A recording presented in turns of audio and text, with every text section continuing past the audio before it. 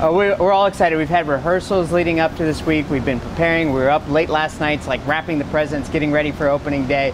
We can't wait to open it all up tonight at 7, 10 p.m. Pregame starts at 6:30, and the gates open at 4:40. It should be a really fun show and a great night at the ballpark. Heck yeah! Tonight's opening night, and then on uh, Saturday, kids opening day. So, so tell us about what's happening on Saturday. Yeah.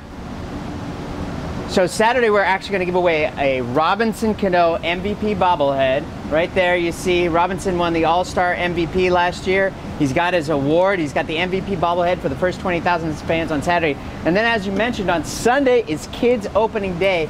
Every kid's going to get one of these cool Felix Hernandez t-shirts if they're 14 and under.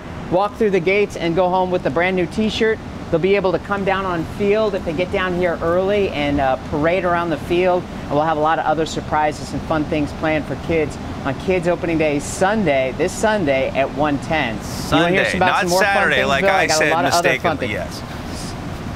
Thanks for Saturday's correcting me. bobblehead. Sunday is the kids' T-shirt. Sunday, Bill gets a little uh, interesting when we get back into town on Friday the 13th.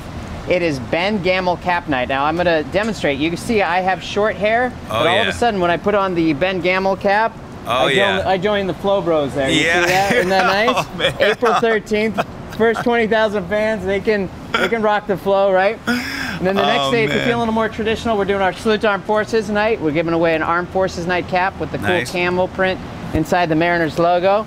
Then coming back May 4th, we are going to do May the 4th be with you, Bill.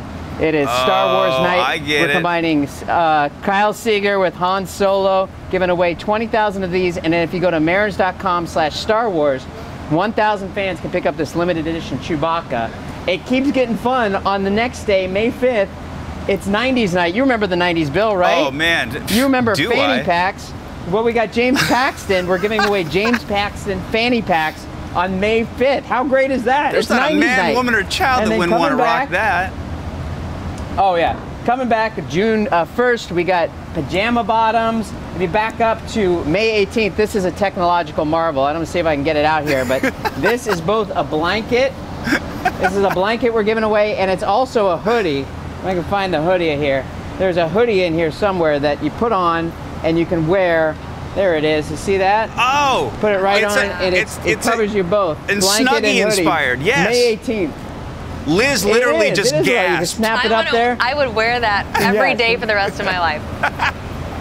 Oh, it is so cozy. I don't want to take it off. It's wonderful. and then if you remember the 90s, you remember we did a turn back the clock in the 90s.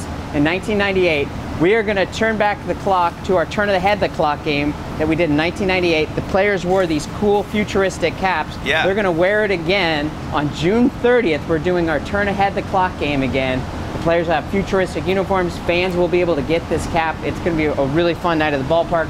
Of course, we got fireworks on June 15th, July 3rd, Pearl Jam fireworks on Ju- uh, July 20th, and uh, many other great events. And of course, Bill, you know, you got to put it on your sports bucket list. At some point, you got to sit in the King's Court and get this Oh, year's yeah. edition of the King's Court T-shirt. Isn't Yeah, that great? right. Felix himself, he loves this shirt.